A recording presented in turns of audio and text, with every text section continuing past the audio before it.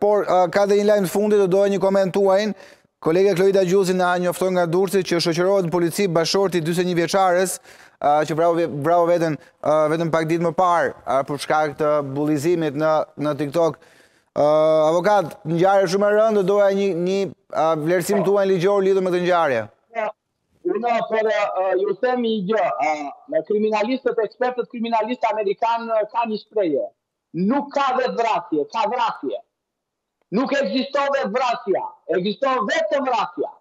Sepse ajo zonja, tashmë e ndjerë, mama e katër fëmijëve, një dyzet e një vjeçare, që të bullizohet dhe të dhunohet psikologjikisht, kjo quhet vrasje, nuk quhet vetëvrasje. Problemi qëndron që, problemi qëndron që dhe ata që kanë bullizuar, që ajo i ka denoncuar që para një viti, mhm. dhe policia e shtetit, edhe prokuroria e, e, e Durrësit, që nuk lejnë gjë kur duan të hetojnë edhe qoka personale e tonë, dhe nuk hetojnë edhe raste të tilla, sepse këto lloj bullizimesh në Shqipëri sot, e them me keqardhje, janë në masë të gjerë, janë në masë ndaj grave, ndaj vajzave dhe ndaj motrave shqiptare. E them këtë me keqardhje e cinizëm sepse dhuna psikologjike që ushtrohet me këto forma ndaj grave dhe nënave shqiptare dhe motrave shqiptare është është sot në përmasa skandaloze. Dhe kështu që bashkëshorti i saj është fajtor. Është fajtor sepse bashkëshorti bashkëshorti dhe ai personi tjetër që e ka bullizuar ka vrarë një vajzë dyzet e një vjeçare nënën e katër fëmijëve. Kështu që unë nuk kam asnjë dyshim që të jetë që kjo është një vrasje, një vrasje me paramendim dhe me vrasje e, e, e, e, në, në kushtet e një e një uh, dhune psikologjike permanente. Ja, uh, uh, për të përforcuar atë që thatë ju, kolegia Klojda Gjuzi shton uh, ndër tjera uh, informacion ku thuhet se dyshohet se bashkëshorti ka pasur një konflikt me të ndjerën për shkak për shkak mendohet se ka qenë profili falso në TikTok, konflikti mund të ketë mund ta ketë rënduar më tej gjendjen psikologjike të Bedrie Lokës.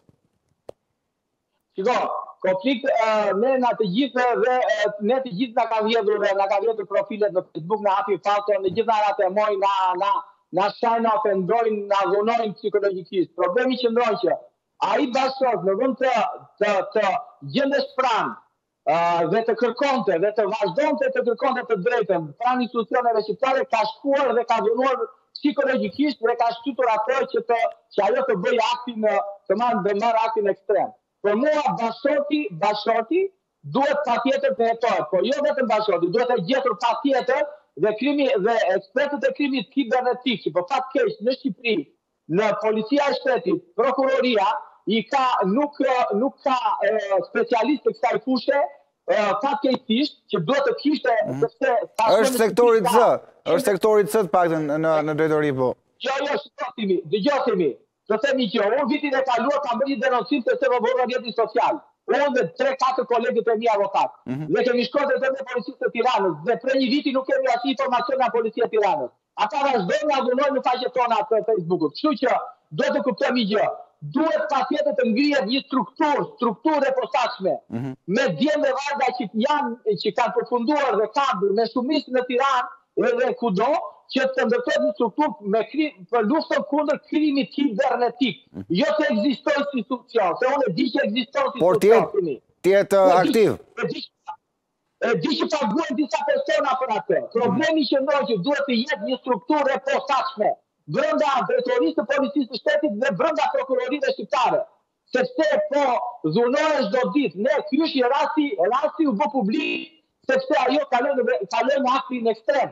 Po sa ka të po. tjerë që nuk janë bërë publik? Sa vajza dhunohen nga me anë bullizohen dhe me për dhe dhe jo vetëm këto, po ndodh dhe biznesmenëve, uh, u marrin u u u si thonë ata, u bëjnë gjoba me anë të këtyre me anë të rrjeteve sociale. Dhe biznesmenëve, dhe jo pak biznesmenëve u bëjnë u bëjnë gjoba me anë të rrjeteve sociale. Duke hapur profile falso, duke u futur në jetën private etj etj. Kështu që, duhet patjetër që të ndërtohet një strukturë e posaçme, që të merret posaçërisht me të gjitha denoncimet dhe me të gjitha krimet që ndodhin në, që ndodhin në, për në krimet kibernetike.